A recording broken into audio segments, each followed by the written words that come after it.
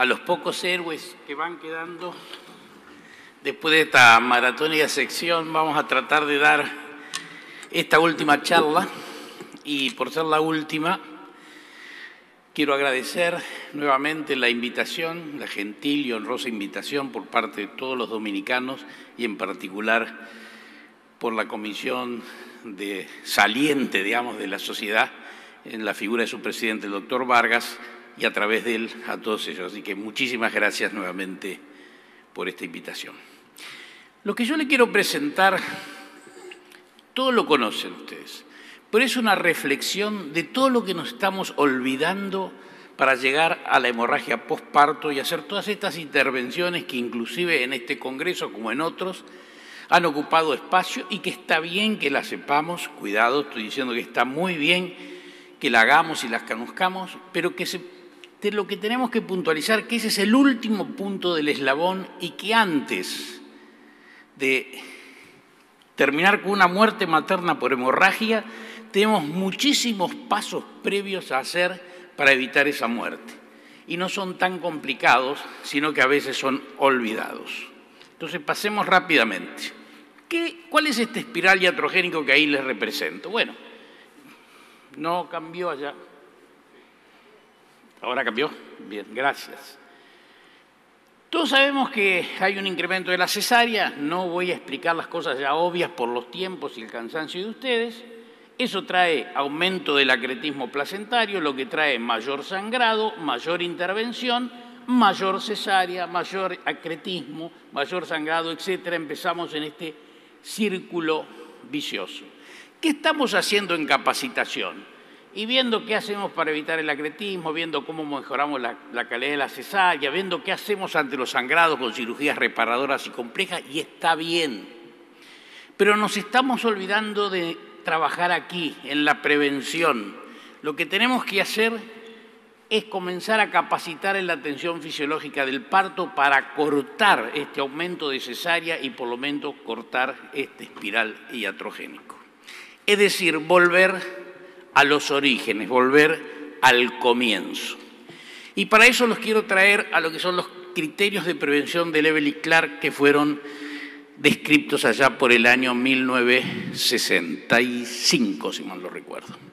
Y habla de los tres niveles de prevención, prevención primaria, secundaria y terciaria. La primaria dividido en dos niveles, promoción de la salud, estos son, y después lo vamos a llevar todo a hemorragia, actitudes saludables, prevención específica. Es muy conocido lo de las vacunas y el COVID, es un ejemplo clásico de prevención específica. El nivel secundario es diagnóstico precoz y tratamiento oportuno, el terciario limitación del daño y el cuarto y el quinto nivel, que es la prevención terciaria, es la rehabilitación cuando tenemos eh, problemas de secuelas de estos procedimientos previos. Esto lo vamos a llevar a la hemorragia. Voy rápido por los tiempos. ¿Y qué, ¿Y qué lógica tiene esto? La lógica es la siguiente. El nivel primario tiene que tener una amplia implementación porque es el de menor costo. Y el nivel terciario, que es el de mayor costo, tiene que tener la implementación necesaria, pero mucho menor. Es decir, nosotros tenemos que prevenir ante que nada la hemorragia y no tratar primero eh, la embolización de las arterias uterinas para que la mujer no se muera. Me explico. Ampliar mucho la implementación primaria, que es más costo efectiva que la terciaria, sin olvidar que esta también la tenemos que conocer, pero no invertir los triángulos o las pirámides, como ustedes le quieran llamar. Entonces, primaria, que tiene bajo costo y es fácil de implementar, es decir, es más fácil de implementar, secundaria que es intermedia y terciaria que es la que ven ahí. ¿Cuáles son los momentos de la obstetricia de estos niveles, primario, secundario y terciario? El primario fundamentalmente es el control previo a la mujer embarazada, es el control pregestacional donde podemos identificar factores de riesgo y hacer cuidados de población a través de la educación. Por ejemplo, explicarle a una mujer que no es mejor nacer, que su hijo nazca por cesárea que que nazca por parto natural. Por ejemplo, ahora vamos a ver en hemorragia específicamente. A nivel secundario, nuestro foco, cuando nosotros tenemos que atender es el control prenatal, la atención del parto, la vigilancia inmediata del posparto y el nivel terciario es el control de la mujer post-evento. Creo que sería el porperio más tardío. Y ahora sí entremos a la hemorragia y qué pasa con el déficit de hierro. Miren, la prevalencia mundial de la anemia por déficit de hierro en las gestantes es del 40%. 32 millones de embarazadas en el mundo tienen anemia y la anemia es la patología más frecuente de la condición humana. Y la anemia ah, es la más frecuente y de esas la de carencia de hierro es la más frecuente. Por eso voy a centrar un poquito ahí ahora. ¿Cuáles son los momentos que se necesita más hierro? Recién nacido, vamos a ver por qué, infancia, adolescencia, épocas de crecimiento importante, preconcepción, embarazo, puerperio y dos más que no vamos a referirnos porque no es el tema que nos compete, pero hay varios momentos en la vida ¿eh? donde son necesarios una buena cantidad de hierro, una buena cantidad de ferritina para poder afrontar todos estos procesos. Y ahora sí, vamos a seguir en el curso de esta presentación que va un poco larga, ¿qué podemos hacer para prevenir la hemorragia obstétrica y sus complicaciones, actuando en los cinco niveles o tres de Level y Clar dividido en cinco, que son promoción, prevención, esto lo vamos a ir repitiendo y tomando un ejemplo de cada uno, diagnóstico precoz y tratamiento oportuno, limitación del daño y nada de rehabilitación porque no nos da el tiempo. Y es lo que ustedes casi todos han hecho o han escuchado durante el curso del Congreso. Y miren esto, ya podemos hacer promoción de una hemorragia posparto y que una persona afronte su parto con buena cantidad de hemoglobina y anemia desde el recién nacido. Supongamos que esa que nace, esto se debe hacer en todos, varones y mujeres, pero vamos a suponer que la que nace es una niña, porque es la futura mamá, por ahora por lo menos. Entonces, la ligadura tardía del cordón más administración de vitamina K, pero vamos a hablar de esto, de un tema de cada uno de estos, que no podemos hablar de todo. La ligadura de tardía del cordón ya va previendo la anemia, que acuérdense que es la patología más frecuente en toda la vida. Miren esto. Si yo, esto es el tiempo en segundos de ligado del cordón y estos los miligramos de hierro que pasan. El hierro que está en la placenta, la sangre está en la placenta, es del feto, no es de la madre. Entonces, si yo en vez de ligar a los 60 segundos, o digo, eh, inmediatamente luego a los 60 segundos tengo en promedio 40 miligramos más de hierro, y si ligo a los 3 minutos tengo en promedio 50 miligramos más. Y cuando más precoce la ligadura, menos hierro pasa de la placenta al feto. Por eso yo les decía hoy en la charla anterior que cuidado con lo de las células madre, cuidado que no digo que no se deba hacer, pero cuidado que a veces uno liga precozmente para tener más sangre y estamos perjudicando, si bien lo hacemos con el beneficio potencialmente futuro de ese niño, lo estamos perjudicando en sus primeros meses y años de vida. Este fue un metaanálisis clásico que que salió en la Cochrane y que tuvo mala intención en algún momento. Porque si bien es cierto que el manejo activo, que es pinzamiento precoz, más maniobras, que no voy a hablar porque no da el tiempo, y más uso de oxitocina cuando se exterioriza el hombro fetal, versus el expectante, que era esperar el alumbramiento espontáneo, tenía una muy buena relación con el menor sangrado y tiempo de alumbramiento menor sangrado materno, lo cual es absolutamente cierto y yo no discuto, lo que da la realidad la da. Pero fíjense lo que puse aquí en rojo. El manejo activo es tal cual se describió en, estas, en estos metaanálisis. Exteriorización, exteriorización del hombro, clampeado de cordón y inyección de oxitocina produce una disminución dos veces más, dos veces y media más disminución de la hemoglobina en la sangre del recién nacido. Es decir, que la mujer se beneficia a expensas de perjudicar a su hijo. Entonces, ojo que el campeo precoz, o sea, inmediato, es perjudicial y bastante para su niño. Eh, veamos la consecuencia, no puedo pararme mucho. Esta es ligadura de cordón tardío versus precoz. El tardío dejar dos a tres minutos o hasta que el cordón deje de latir, que sea turgente, y ahí ligarlo. El hematocrito, Cuando hacemos pinzamiento tardío es tres veces, casi cuatro, 3,7 veces mayor, diferencia significativa. La concentración de ferritina, que es lo que nos va a hablar el, almacenamiento de hierro, 17 veces mayor, por ciento mayor, y acá no engloba el 1, por supuesto. Las reservas de hierro general, 10, casi 20 veces mayor. Y la anemia, medida hasta los seis meses en lo que tienen ligadura tardía, es casi un 50%, un 47% menor. no es solamente el hierro, sino que el niño hasta los seis meses tiene la mitad de probabilidad de tener anemia si nosotros hacemos una ligadura tardía. Imaginemos de nuevo que esa es una niña, esa es una niña que enfrenta su vida en mejores condiciones si le hacemos una ligadura tardía que una ligadura precoz y que esa niña en el futuro se embarace. Sigamos.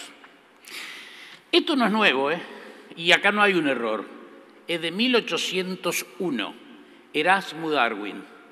Otra cosa muy dañina para el niño es atar y cortar demasiado pronto el cordón umbilical, lo que debería postergarse no solo hasta que el niño haya respirado varias veces, sino hasta que todo el pulso del cordón haya cesado, ya que de otra manera el niño es mucho más débil de lo que debería ser y una proporción de la sangre quedó en la placenta que debió estar en el niño. No descubrimos la pólvora. Volver, a los orígenes a veces es lo que tenemos que hacer. El otro día le di los ejemplos de Tarnier para que estuvo en la charla. Sigamos con nuestro hilo del tiempo. Supongamos que esa recién nacida, esa niña, decide embarazarse. ¿Qué podemos hacer en la preconcepción como prevención secundaria? Acá hay varias cosas, parasitosis, malaria, todo eso hay que controlarlo, pero yo sigo con esta línea del pensamiento del hierro, porque además sirve igual antiparasitosis, antimalaria, sobre todo antiparasitosis. Acuérdense que los antiparasitarios son todos antifolínicos, son todos antiacidofólicos, por lo tanto necesitamos ácido fólico e, y, o e hierro, como y hierro para dar. Entonces sigamos con esto, preconcepción. El déficit de, hierro generalmente en el ciclo de vida de una mujer, nos vamos a centrar aquí, es por déficit de ingesta. Falta de aporte de hierro, el hemínico, que es el mejor, porque no produce intolerancia, son sangres rojas. Yo no sé si acá se conoce un embutido que es la morcilla, se dice en el sur, tiene diferente, creo que es sangre eh, que se embute y se come, ese es hierro hemínico, eso es lo mejor, no produce rechazo, no produce náusea, no produce vómito. A algunos no les gusta, por supuesto, pero es lo mejor que pueden recomendar una embarazada para tener aumento de hierro hemínico, que no se rechaza. Puede ser por falta de aporte de hierro hemínico. Digo, de hierro no, puede ser por falta de aporte y podemos dar hierro no hemínico, como son los cereales enriquecidos, las lentejas y los frijoles.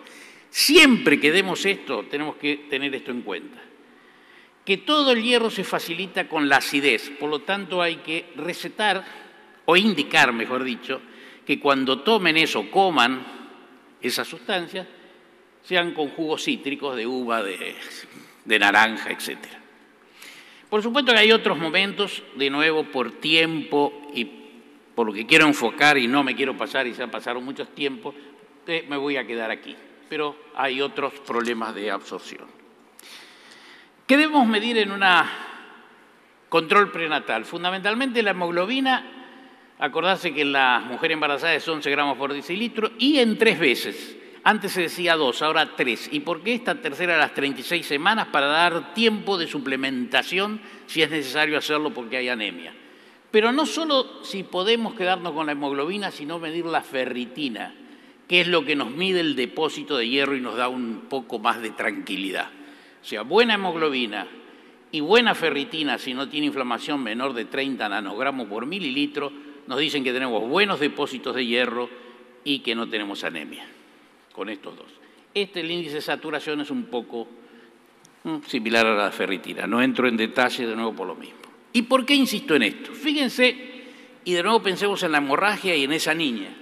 La anemia severa con menor de 7 gramos por decilitro y la asociación con la morbimortalidad materna, y después vamos a ver fetal y neonatal.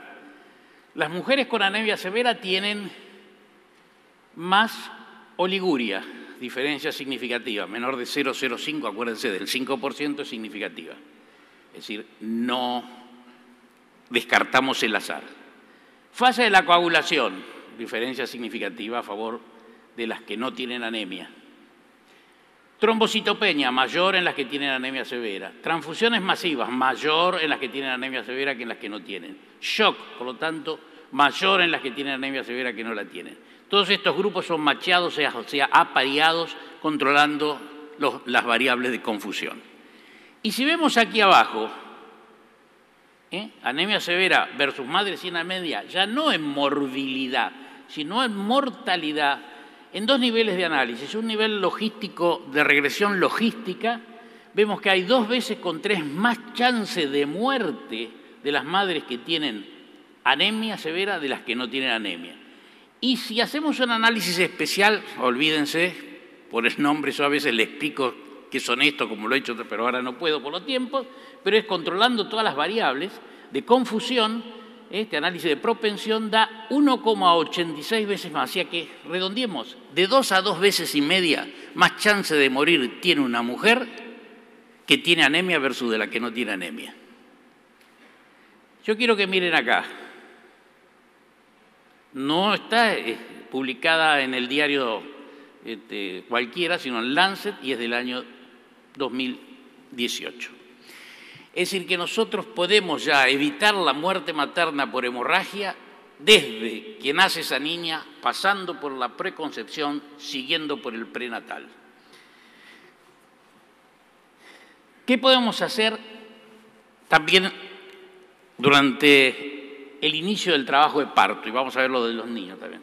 Detectar factores de riesgo de hemorragia. ¿Para qué? Para ubicar a esa madre en el sitio que debe parir es decir, en un lugar periférico o en un lugar terciario.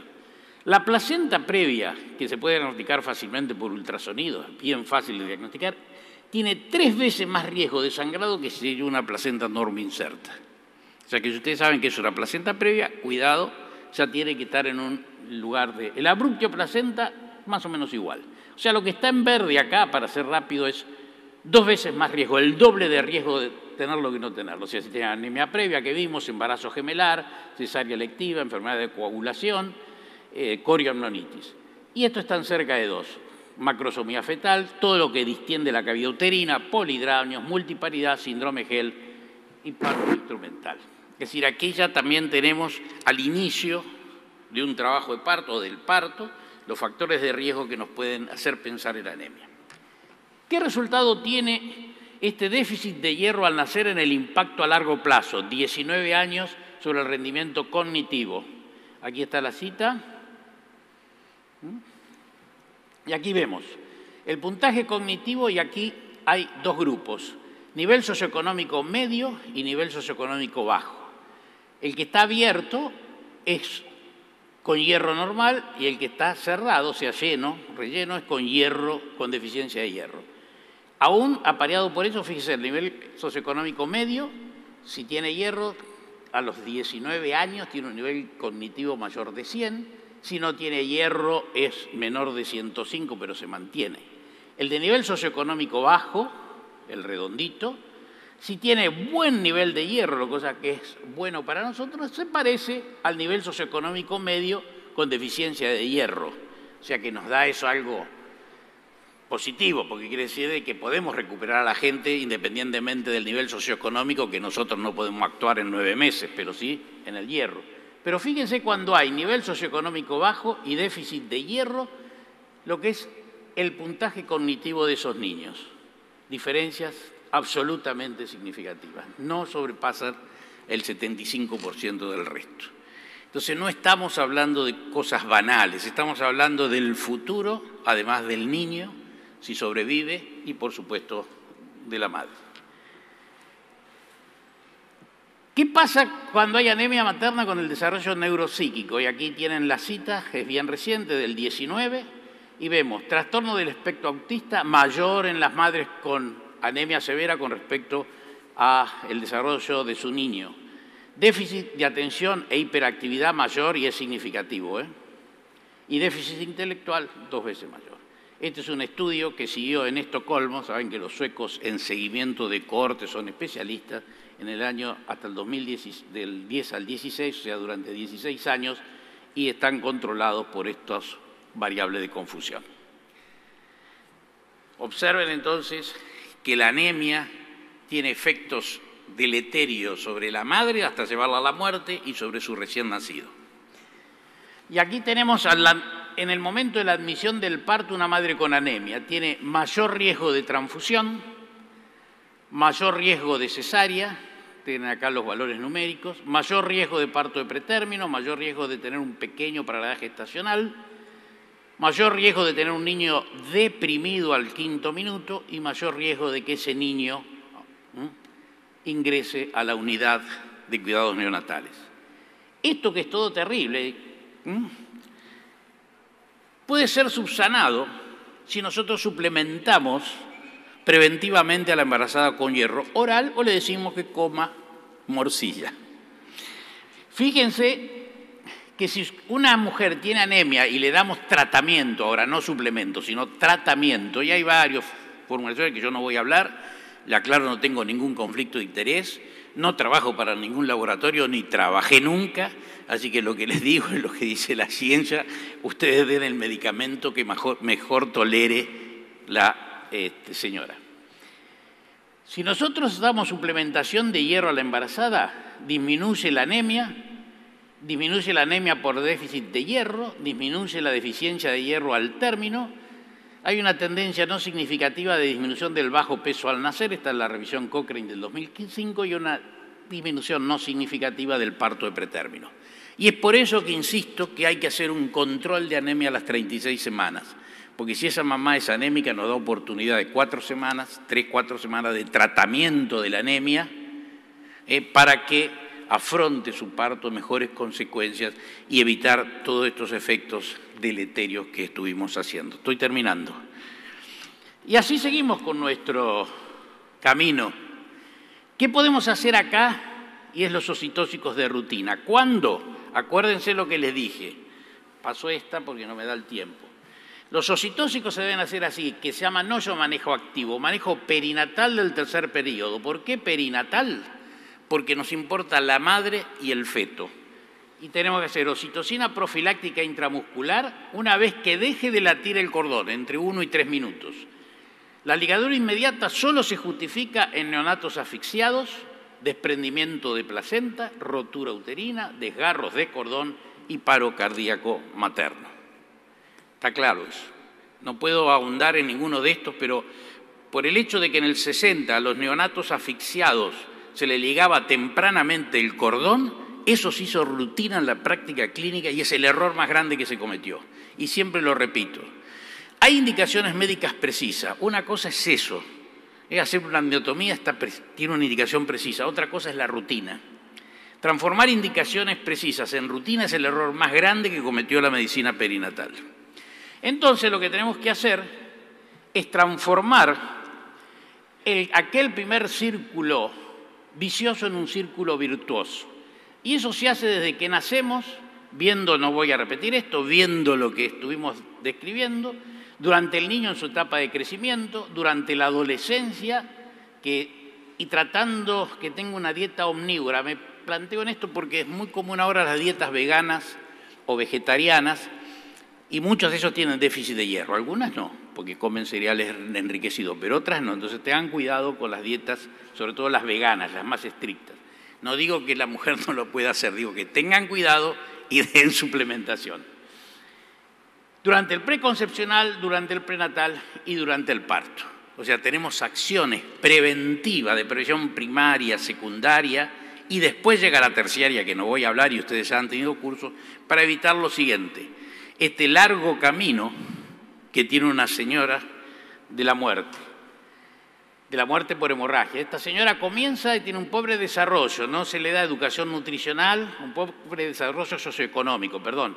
No le damos educación nutricional, no le damos hierro, no le damos ácido fólico, o sea que le cerramos la puerta de las intervenciones en la preconcepción. Esta sigue su camino. Falta de control de los factores de riesgo durante el control prenatal, detección de riesgo de sangrado, de anemia, de riesgo de, anemia, déficit de hierro, déficit de ácido fólico. Le cerramos la puerta del control prenatal. La mujer es un embarazo alto riesgo porque está anémica, le cerramos la puerta de atención del parto porque no tiene una aseguradora que la cubra, entonces Perdemos los oxitóxicos preventivos, la prevención del trauma obstétrico con un manejo fisiológico del parto y no episiotomía para el mayor sangrado, etcétera, etcétera. Diagnóstico de parto prolongado y obstruido. Y por último, claro, si no tuvo todo esto, sigue su camino hasta que sangra y llega a la muerte. De nuevo, generalmente estamos centrados hoy a estos eventuales tratamientos complejos salvavidas, que son embolismo, eh, cirugía reparadora de daño, etcétera, que hay que saberla y hay que hacerla, pero eso es lo mínimo.